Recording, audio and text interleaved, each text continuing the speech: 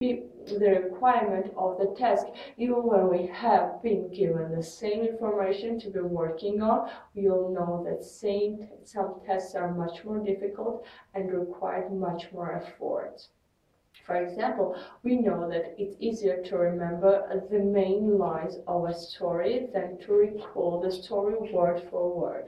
Again, we know that it's easier to recognize recognition something that uh, than to remember to recall it.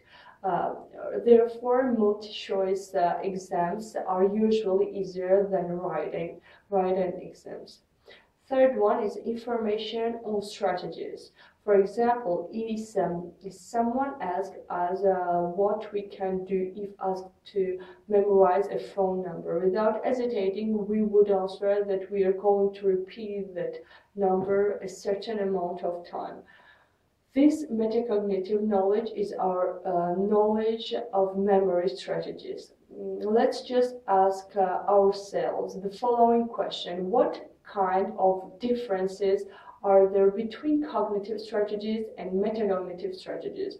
The main function of cognitive strategies is to help to conclude successfully any cognitive enterprise.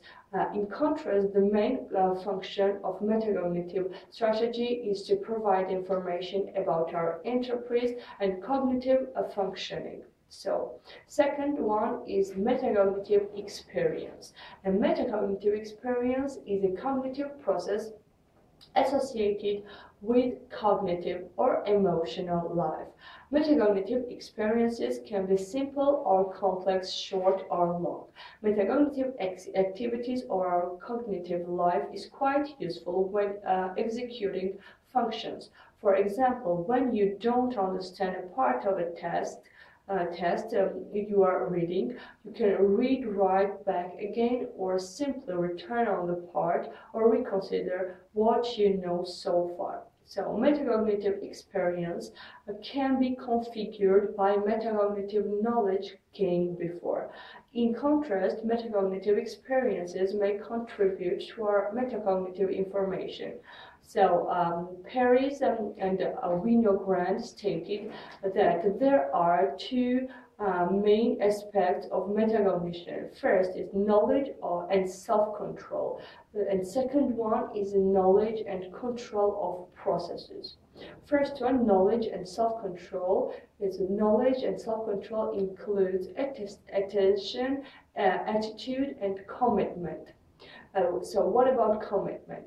In, intuitively, the majority of teachers think that if their students commit themselves to an academic subject, it will be a major determinant of their success. However, it's a, a uh, behavior and not something that cannot grasp. Anything arising from specific events a person committed himself to achieve the fact that people are likely to be able to commit themselves to something lies on their own preference. B's attitude. Attitude that someone develops toward a subject are not closely related to himself. On the learning uh, of a certain topic, the value of the subject, that ability to achieve that, and to, uh, to the extent the value of the effort approaches this subject with an attitude. Uh, if the learner does not develop an effective learning environment, his learning attitude will be affected ne negatively. As a result, an important aspect of knowledge and self-control is to be aware of the attitude generated against a particular issue and to ensure the development of this attitude that help learning. Successful students always attribute their success to their own efforts. C is attention. Uh, so what about attention?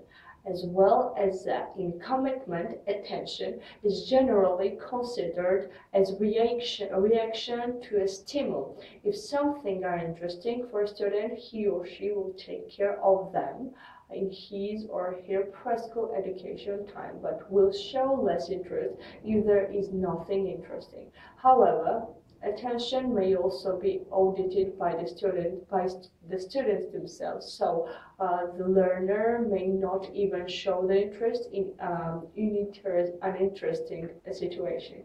Self uh, self knowledge and uh, the third dimension uh, of information control is to adjust the level of attention and create attention when required. Second is knowledge and control of process. Knowledge and control of process includes two different parts. A is type of information. Information can be expressive, declarative, uh, uh, operational, procedural, and cognitive, um, uh, contingent uh, conditional. Expressive information is factual and includes knowledge, the concept of uh, a given task. Procedural data refers to information about how we apply metacognitive strategies. The conditional information means to aware of whether a strategy is more appropriate and prefer using the one instead of another strategy to perform a desired task.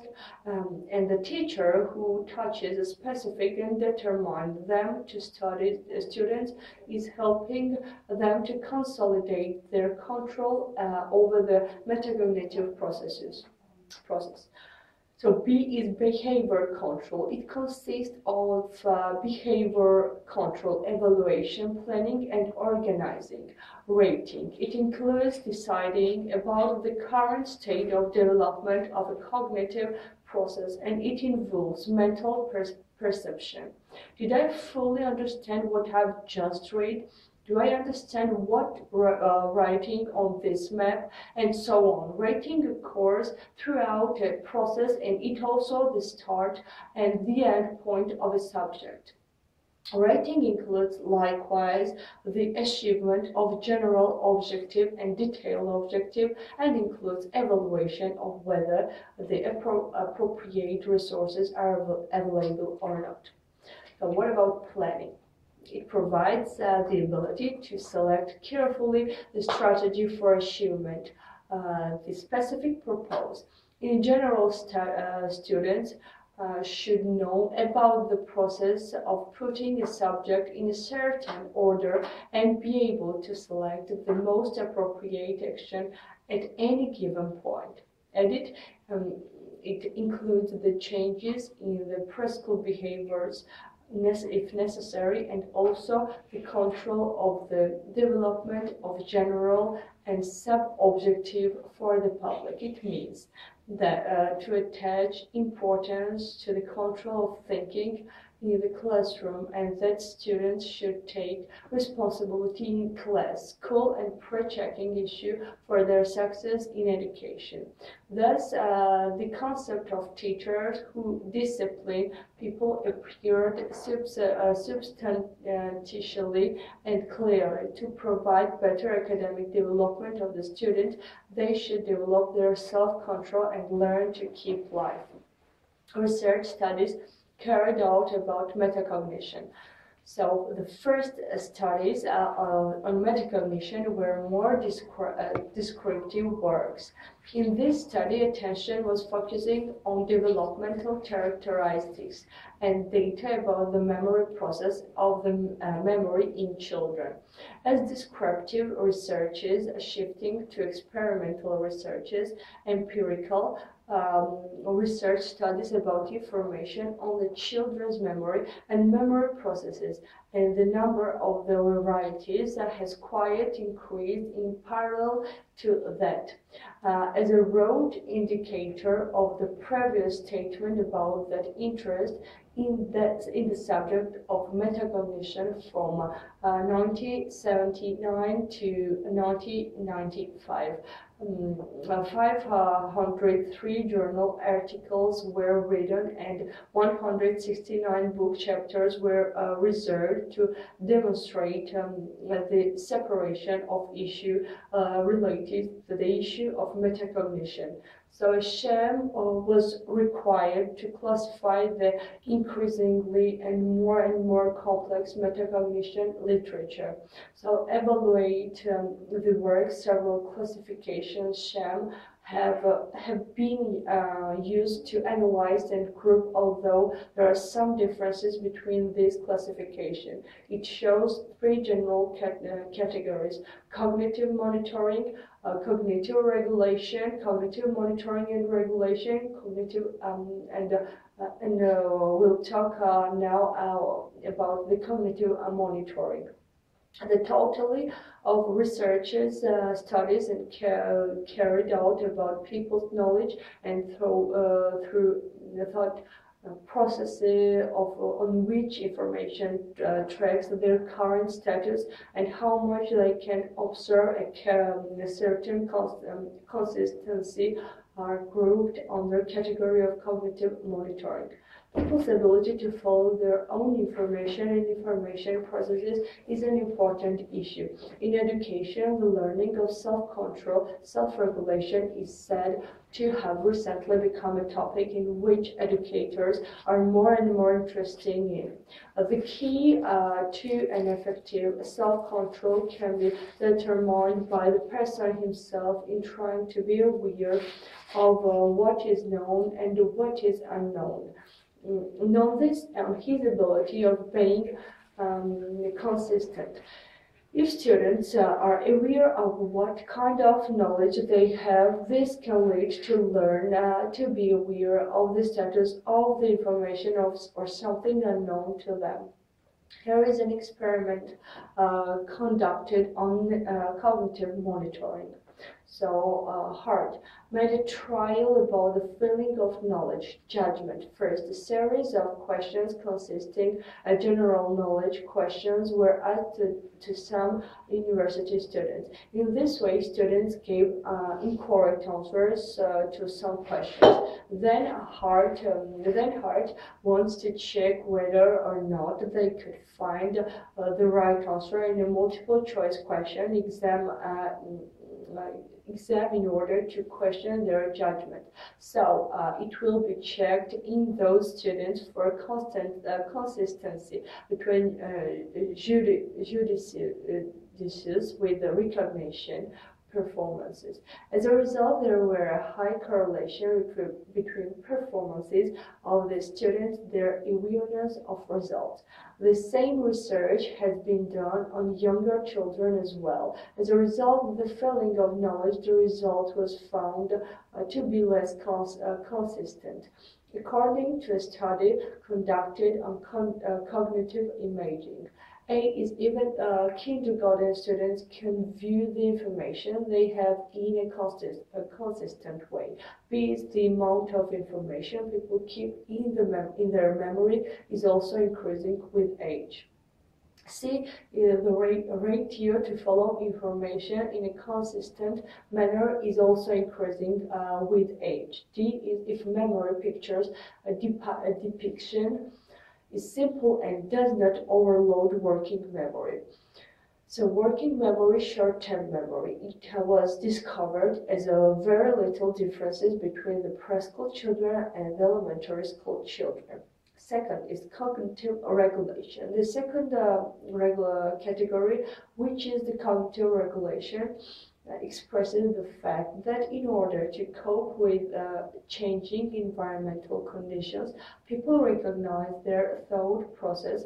The first studies on this subject um, is usually performed on children with mental uh, retardation and educable mental retardation. But recent studies are performed uh, on all children uh, in these studies, teaching strategies used in uh, different fields of both teaching strategies transfer our thought. Thir uh, third one is cognitive viewing and addition. Cognitive viewing and addition refers to people that can view with their own knowledge and ideas to use this information in order to edit later memory process. Fourth one is to the research studies in education related to metacognition. Recently, it's um, observed that, that, a focus of research in, in the field of education, metacognition as a fourth category in education is taking place. The concept of metacognition entered training education with little bit uh, delay Uh, now scientists' um, attention is focused on the theoretical field of laboratory applications that are turned to the class. Uh, Burkhost um, stating the Metacognitive theory can help teachers who want to create the focus on both flexible and creative strategic learning in the classroom. So uh, Paris and Winograd uh, declared that students reading, writing, and uh, problem solving can improve their success by learning to be aware of their uh, own thinking. Teachers uh, could increase this awareness in students directly by informing them about effective problem solving strategies. They also they also discussed that the cognitive and motivational characteristics of uh, cognitive thinking can be increased too. This leads to ask the following general questions about studies in the, in the field of education. Can metacognition, metacognitive process uh, facilitate, or not learning? The answer found to that research question so far is a yes, as they reply. So, the following research fields uh, were presented in examining, examining the effect of metacognition, verbal expression of cognitive process, general problem solving, science, math, writing, reading, dual language education, tasting, forecast, study, academic copy, rehabilitation, aging, and problem solving. So, metacognitive strategies. First, merge the new information with previous ones. Second, selecting strategies of thought. Third one, planning the thought process, doing an evaluation of the monitoring and observation. Strategies to improve metacognitive behaviors. A is determining uh, what we know and what we do not know. So B is talking about one's thoughts and ideas. C is keeping uh, a diary of thoughts. Uh, D is planning the self-control, E questioning the thought process, and F is self-assessment. Assessment. G is building a metacognitive environment. So now um, uh, we'll talk about psych um, psychology quiz. Uh, first is um, the which one of the following is not a psychology current the second question uh, is which of the following approaches uh, is to know, uh, to separate the various elements of the human mind awareness to consolidate and analyze the awareness items. So there are a lot of questions um, to answer it. So um, you can read it um, on the paper and uh, then uh, you can answer it um, so that uh, it should be very interesting to do that. So now uh, we'll talk about uh, the other hand. So maybe we'll finish this uh, kind of current psychology test. And thank you for the listening and goodbye, students.